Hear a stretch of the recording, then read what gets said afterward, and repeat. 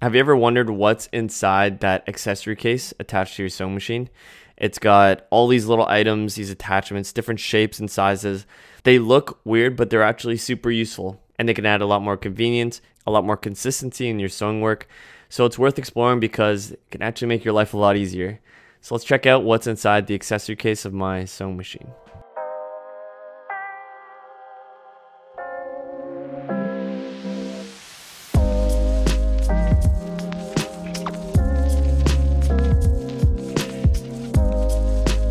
So here's all the tools laid out. Let's start from the left to the right and go from the most common pieces.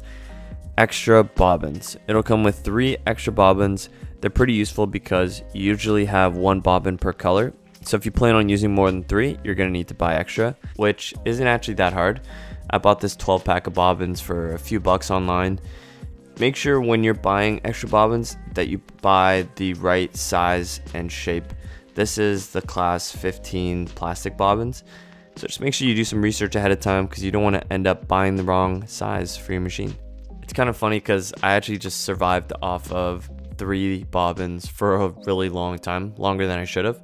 And when I needed a fourth thread color, I would just find my smallest wound bobbin and add the thread on top of that already pre-spun bobbin there are ways to get around it, but honestly, if you think you're going to use more than three colors, just buy some extra bobbins. It'll make your life a lot easier. Link below if you want that 12 pack, and let's move on to the next item. Next up, extra needles. I've heard people say that they change their needles after every project or before every project. I have not done that. That would go through so many needles. So usually if your machine's not working well or it's skipping stitches or making a tapping sound, then needles could be the culprit. So it probably means your needles are getting dull or they're the wrong size, so you'll need to change them. There's a flat part to the needle, so make sure you research online which direction that flat part should be facing when you're replacing them. And in general, the relationship with needles and fabric, the bigger the number, the bigger the needle, the heavier the fabric. And then the reverse, the smaller the number, the smaller the needles, the smaller the fabric. And with a smaller needle comes with a smaller eye, so you'll also need thinner thread. Next is a spool caps. We got two types. We have the normal big one and the tiny small one. So the big one is for the horizontal spool pin. It's the cap that holds these spools in place. You should have it nice and snug, no gap between the cap and the spool and the big side should be closest to the thread to help avoid getting caught on the teeth of the spool. The smaller spool cap I use for the vertical spool pin and luckily I have a video that helps you determine which orientation of the spool pin you need depending on what kind of thread you have. But you can also find more detailed explanation in my other video.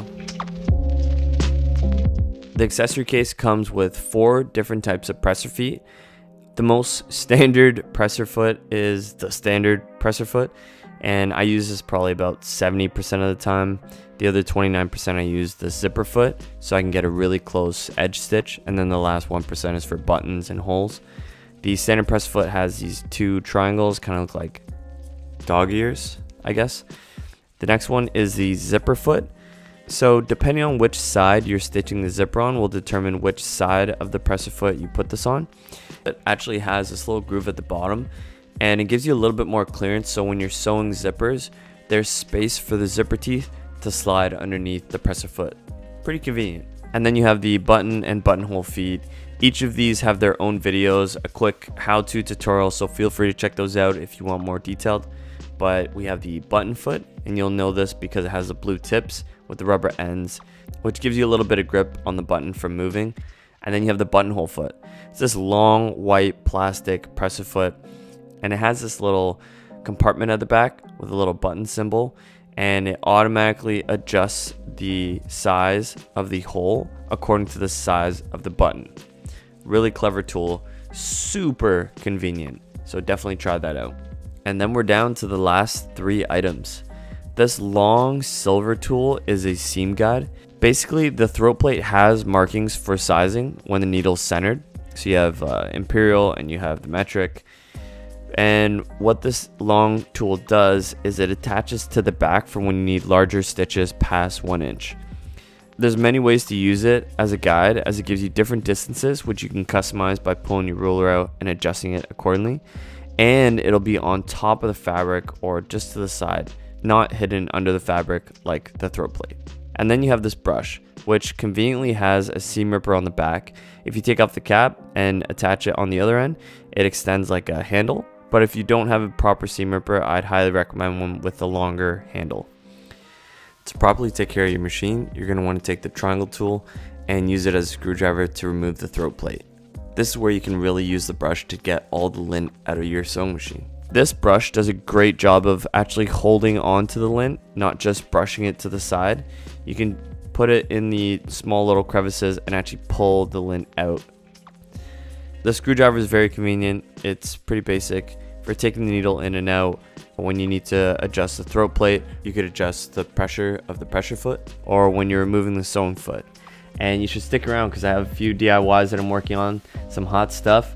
So subscribe to my YouTube channel so you can be the first to find out when they drop. And until next time, peace.